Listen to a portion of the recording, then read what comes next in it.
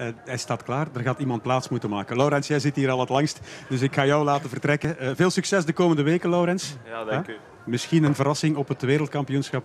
Dat zit er uh, ook wel in, zoals je nu aan het rijden bent. Ja, en hij heeft een nieuwe sponsor en hij denkt er ook wel aan.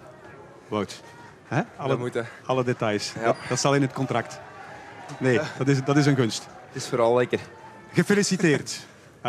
Het is een titel waar je meer hebt voor moeten strijden dan de meeste mensen dachten. Ja, ik denk dat ik voor de koers uh, dat al vaak gezegd heb dat je een titel niet zomaar neemt. Maar uh, iedereen verwachtte dat het makkelijk zou worden en uh, dat was het zeker niet. Het was uh, denk ik de moeilijkste titel van de drie. Ja. Heb je getwijfeld op een bepaald moment? ja, getwijfeld niet echt. Maar op een gegeven moment ja, dacht ik wel dat, dat we met twee naar de aankomst zouden gaan. Omdat Laurens ja, eigenlijk altijd in het wiel uh, bleef zitten en uh, ik, kon hem niet lossen.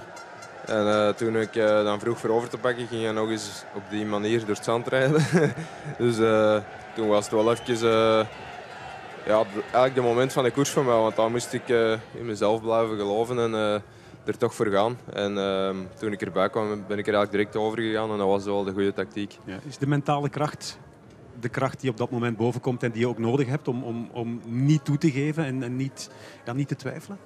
ik denk dat je een kampioenschap altijd wint op uh, mentale kracht. Uh, fysiek is iedereen op zijn best. En, uh, natuurlijk, met een goede conditie heb je al ja, dat is ook heel belangrijk. Maar uh, uiteindelijk uh, het verschil maken is, is altijd in, in, in het kopje. En uh, dat heb ik al ondertussen al wel geleerd. Ja, daarnet met Niels Albert daarover gesproken. Ook. Je komt van een stage. Je, je piekt naar het WK vooral.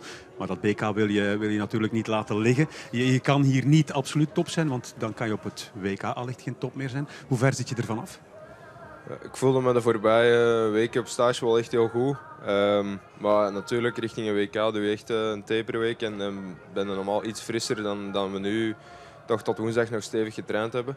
Um, maar ik voelde me vandaag toch wel, uh, toch wel heel goed. En, uh, ja, ik denk dat op het WK ik misschien iets beter moet kunnen, maar ik wil vooral de komende tijd ja, op een, op een constant niveau dat ik nu hopelijk te pakken heb verder doen. Ja. Emoties zijn zeer belangrijke dingen in de sport. Hè. Als je een eerste keer Belgisch kampioen wordt, zijn de emoties enorm groot. Als je wereldkampioen wordt, nog groter. Je hebt nu al een aantal zaken meegemaakt. Hoe emotioneel word je hier nog van? Uh, voor mij is het moeilijkste moment altijd die Brabanson. Uh, ik weet niet hoe dat komt, maar uh, dan krijg je altijd kippenvel. En dan speelt de film van de koers en de voorbereidingen toch even af. Ehm, en dat is, uh, ja, dat is, dat is het moment waar je het allemaal voor doet, denk ik. Dus uh, uh, dat blijft elke keer speciaal. je denkt wel dat je weet wat er gaat gebeuren, maar als je dan die trui weer krijgt, dan, dan is dat genieten. Ja, de supporterschare staat te zingen voor Wout van Aert. bij je vader waren er ook emoties. Sammy Nering was bij hem toen je Belgisch kampioen werd. Blijft toch altijd even speciaal. Hè? Uh, het draait in feite toch uh, in deze sport uh, rond de titels of om, de, om het behalen van die, die titels. Belgische titel, de wereldtitel. Dat zijn de, dat zijn de grote momenten van van het jaar. Kunnen daar like, like, nu de Belgische titel binnenhalen. Natuurlijk maakt het ons gelukkig. Maar de renner natuurlijk zoveel te, te, te meer eigenlijk, ook gelukkiger eigenlijk zal ik zeggen. Hè? Heel veel trots in je ogen, een trotse papa. Absoluut, absoluut, absoluut. Uh, ja, dat is zo. Ja, ik ben trots. Je emotioneert een beetje? Jawel, jawel, jawel. jawel, jawel. Ik, ben, ik ben een emotioneel iemand. Ook, uh, lijkt niet altijd zo, maar het is wel zo. Ik weet niet of dat jij kinderen hebt als een van uw, een van uw kinderen een, een Belgische titel binnenhaalt. Dan uh, zijn er altijd emoties. Hè. Dus, uh, en bij mij is dat niet anders. Dus ik ben een gelukkig mens. Geniet ervan. Alsjeblieft. Uh, dank je wel bedoel ik. Henk van Aert, fantastische reactie. Jij had hem getipt hè, vooraf als een kandidaat voor het podium? Ja, zeker. Uh, ik denk dat ik Jan goed ken en ik weet dat hij heel goed door het zand kan rijden. We gaan vaak samen trainen. En, uh, ja, ik heb hem hier in Kokzijde ook al uh, vaak samen mee gecrossed bij de jeugd. Dus ik, zat er, ik zat er niet naast met die voorspelling. Nee. Jullie hebben samen gereden bij een jeugdploeg volgens Paul Herreigers? Ik denk dat we al samen koersen van dat we tien jaar zijn, denk ik. Uh, dus uh, ja.